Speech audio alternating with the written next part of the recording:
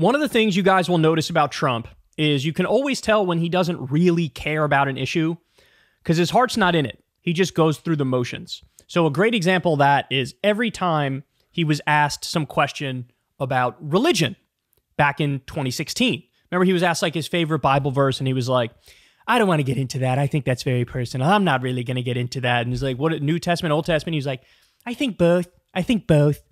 Uh, he went to Liberty University and gave a speech, and he said, 2 Corinthians. So th- there was always this element of like, he doesn't know shit about the Bible. He's not religious, but he's just going through the motions and pretending to be religious. There's that famous tweet where people are, you know, making fun of him and Trump's like waving around a Bible like, you idiots love this shit, don't you? Don't you love this? And that really is the vibe when Trump talks about religion. Okay, now, having said that, we got a new issue here where Trump's heart isn't in it, but he's trying to go through the motions and throw the red meat to the base. But to say this is a swing and a miss is a massive understatement. This is a, a whiff of epic proportions. So he's going to talk about trans issues and listen to what he says. Things that almost nobody in this room wants, who I think 85, 90% of the country doesn't want if they actually I absolutely agree it. with you. But uh, the transgender thing is incredible. Think of it. Your kid goes to school and comes home a few days later with an operation. The school decides what's going to happen with your child. And you know, many of these childs 15 years later say, What the hell happened? Who did this to me? Your kid goes to school, they come home a couple days later with an operation, a trans surgery.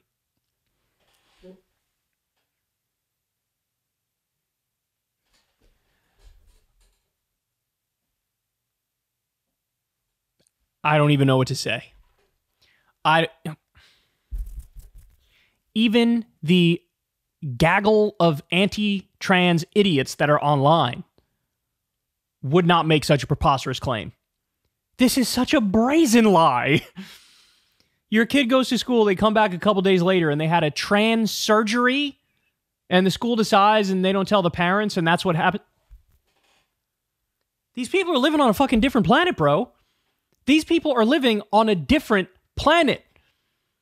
You want to know how many times that's happened in US history? Zero. Donut. Nada. Nothing at all. Ever. Never. It has never happened that a kid has gone to school and come back a couple days later and they chopped off their dick and balls. It has never happened that a kid has gone to school and they come back a couple days later and a, a girl chopped off her titties. This has never once happened in the history of the United States, probably in the history of the world. This has never fucking happened. But this is what it sounds like when he know, okay, my base loves this dumb stuff. By, by the way, Trump back in the day, before this became a big fad online to be anti trans, Trump, very famously, when he was the head of, what was it, uh, Miss America or Miss Universe, he was the head of one of those pageants, right? He like owned the pageant. And uh, he allowed in a trans woman. And then when there was pushback, he was like, no, nah, we're going to keep her in. And this is, you know, this is how he was back before this became a fad online. He, he was a New Yorker. So to him, it's just like, yeah, whatever. Okay, there's a trans person. Does she look like a girl? Does she look like a girl? Okay, so then what's the problem? I don't see a problem. He very famously said that Caitlyn Jenner, she can use every bathroom she wants at Trump Tower. I don't care. Right? This is what he said back then.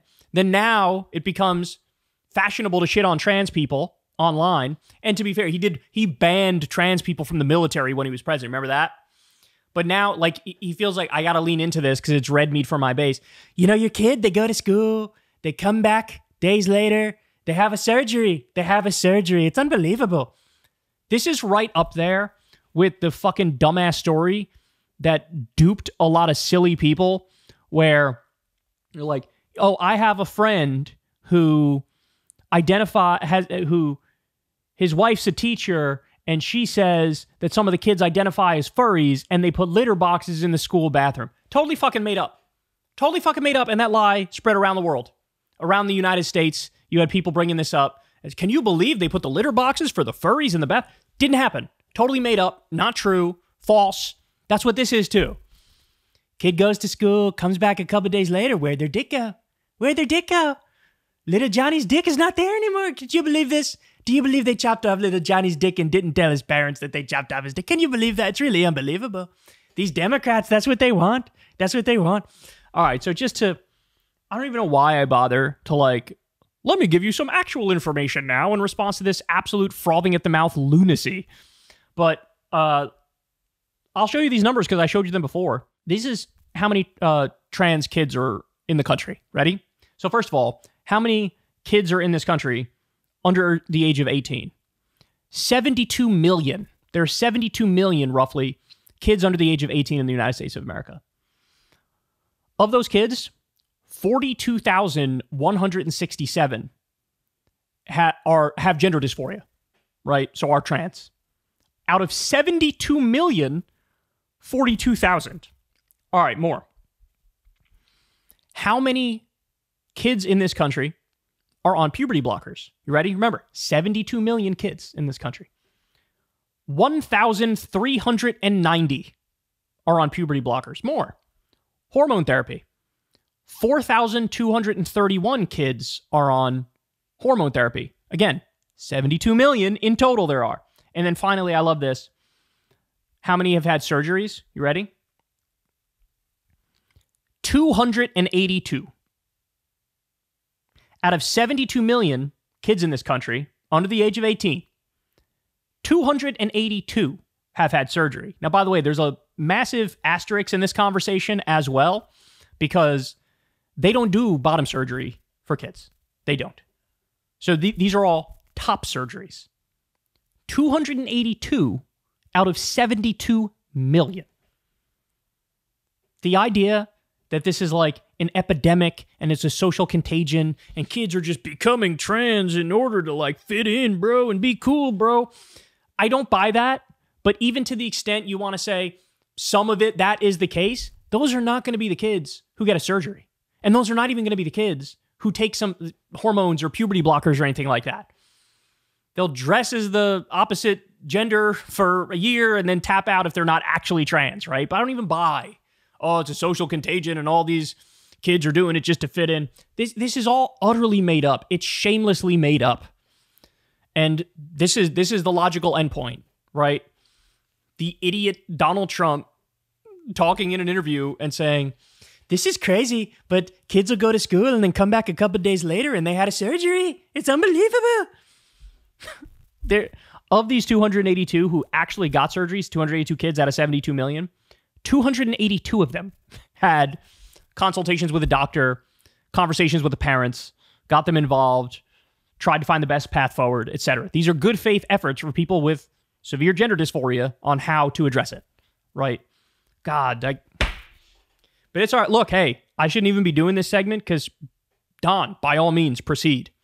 I don't know if you guys remember this, but in the midterms in 2022, they did, uh, Republicans did run ads like trying to fearmonger over trans stuff. And it didn't work. It didn't work. It flopped massively, just like the crime fearmongering uh, failed massively, just like Republicans being extreme on abortion failed massively, just like the election denialism failed massively. This is another one of those things, but he's just throwing red meat to his base about the uh, phantom non-existent kids who go to school and come back with their dick chopped off. Uh, I'm sorry, but final point. Think of how much a su- of a sucker you have to be to believe that. To believe that and think, yeah, that's a thing that's happening. How fucking too, how far gone are you with internet brainworms where you think for even a second this is a real thing? How far gone would you have to be? You would have to be insanely far gone. Insanely far gone.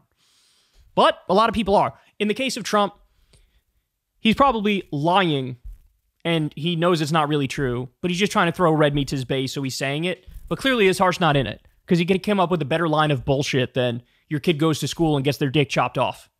like, are you out of your mind? Yes. The answer is yes. Hey, y'all, do me a favor and like and subscribe. It helps out big time in the algorithm.